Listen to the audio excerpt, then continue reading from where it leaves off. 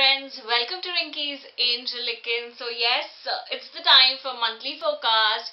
Like always, I keep doing monthly forecast and once in a while I also do monthly motivational videos. Yes, I'm not very consistent with my motivational videos, but I'm trying my best to, you know, give you the best.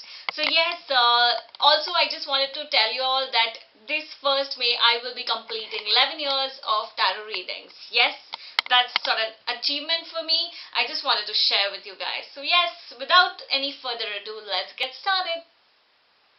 Let's begin for Virgo. So three tarot cards and the angel message for May 2016.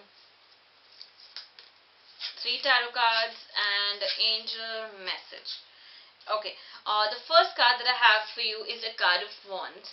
This card clearly indicates that beginning of May is going to be really good and positive for you. You know, there's a lot of brighter side with terms in terms of your relationship. Your partner and you are going to have a fabulous time this uh, start of the May. Somewhere a lot of positivity, you know, there were a little misunderstandings which were setting you apart, but yes, May start gets off all the misunderstandings and brings again a lot of positivity in your relationship. So that's sort of a good news for you guys.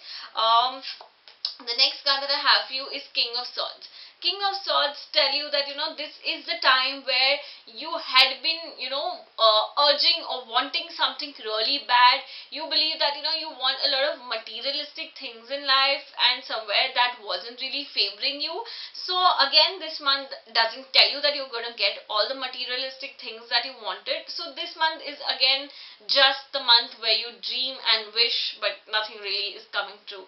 Um, the last card I have for you is the Emperor the emperor tells you, you know, in your family you hold a very strong position you know strong position as in uh, your family members look up to you as an inspiration. They believe that you are working really really hard to, uh, to you know get all those smiles in everybody's life. Somewhere they believe that you are their motivation you are their inspiration and you altogether in your heart you know you feel you are uh, very very responsible for everything around that's going around. You feel that you want to give all the happiness uh, to your family. So somewhere that responsibility is making you a leader. That responsibility that you know you feel that you want to do a lot for others, others as in your family. So that is such a positive thing that you know your family members are really appreciating. Um, now the angel message. Angel message for you is trust your intuition. This card tells you, you know, uh, you have you have that belief that you know it will work out. You your intuition also tells you that it will work out.